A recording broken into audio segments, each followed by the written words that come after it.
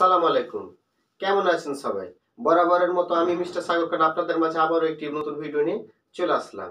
So আজকের ভিডিওটা হচ্ছে স্টিম লিমিটেড সুইচ কি কাজে ব্যবহার করি এবং আমরা এটি কীভাবে কাজ করে এই ভিডিওর মাধ্যমে আপনাদেরকে বলে সো ভিডিওটি শুরু থেকে শেষ পর্যন্ত দেখবেন আর আপনাদের কাছে আবারও একটি ছোট্ট কথা যে যারা আমাদের পরিবারের সদস্য হননি সো দেরি কি আর?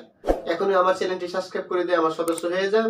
আর যারা এখনও আমার সদস্য হয়ে আছে, তাদেরকে অসংখ্য অসংখ্য ধন্যবাদ। তো বেশি কথা বাড়াবো না, চলুন মূল ভিডিওতে যাওয়া যাক। সো আপনারা এখন যেটি দেখছেন, সেটি হলো আপনার এই যে পেঁচানো পাইপটি আছে, এই পেঁচানো পাইপটি আছে আপনার শিল্পের সঙ্গে এবং যে মিটারটি দেখছেন, এটি হলো আপনার স্টিম লিমিটেড সুইচ বলে। এটাকে অরিজিনালি বলতে গেলে এটাকে একটা ক্যাপাসিটি বলে ক্যাপাসিটার বলে আর কি তো এই ক্যাপাসিটার মানে এখানে কমা বাড়া করা যায় এবং এই মিটারের মাধ্যমে কিন্তু আপনার বয়লারের স্টিমটা আপনি নিয়ন্ত্রণ করতে পারবেন। সো অবশ্যই অবশ্যই আপনার এই জিনিসটি অনেক খুবই গুরুত্বপূর্ণ।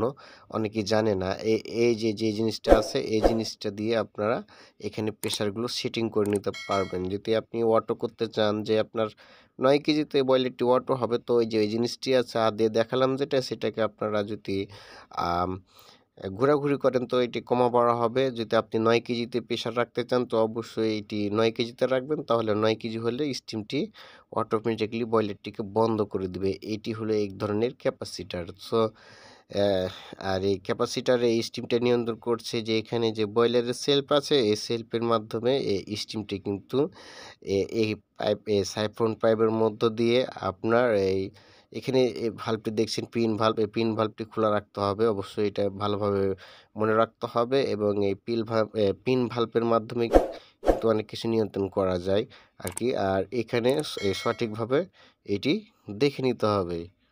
তাহলে বয়লার নিরাপদে আপনারা চালাতে পারবেন। আর আরেকটা জিনিস, এই সুইচের মাধ্যমে কিন্তু আপনার বয়লারটি অনেকখানি সুরক্ষিত থাকে। কারণ যখন আপনার বয়লারে স্টিম বেশি হয়ে যাবে, তখন এটি অটোমেটিকলি আপনার স্টিমটি মানে বয়লারটিকে বন্ধ করে দেবে। আবার যখন কম হয়ে যাবে তখন আবার বয়লারটি চালু হয়ে যাবে। তো অবশ্যই অবশ্যই বয়লারে স্টিম লিমিটেড সুইচ থাকা লাগবে।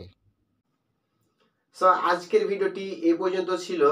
যদি কোনো ভুল ত্রুটি হয়ে থাকে, তো অবশ্যই আমাকে ক্ষমা দৃষ্টিতে দেখবেন। আর বয়লার বিষয়ে নতুন নতুন ভিডিও পেতে অবশ্যই অবশ্যই আমার চ্যানেলটি সাবস্ক্রাইব করে রাখবেন। তো আজকে বেশি কথা না বলে আজকের মতো ভিডিও এইটুকুই। আপনারা সবাই ভালো থাকুন।